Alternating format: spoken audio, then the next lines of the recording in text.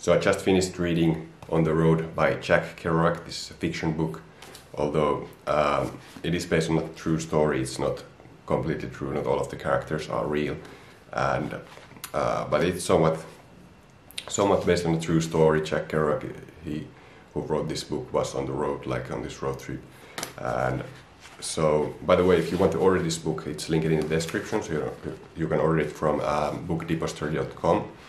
And uh, also subscribe this channel if you like book reviews. I have uh, many book videos on this channel. But yeah, this book is just um, they're on the road. They leave home and with some friends they go on the road with very little money. And then sometimes they're so broke they don't have anything to eat or any money to go to the next place.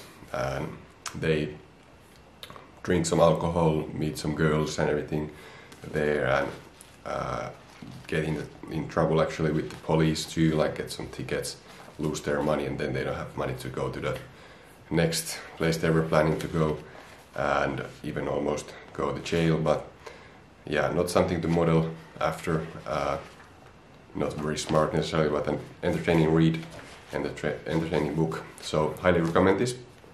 If you like this video, make sure you hit thumbs up.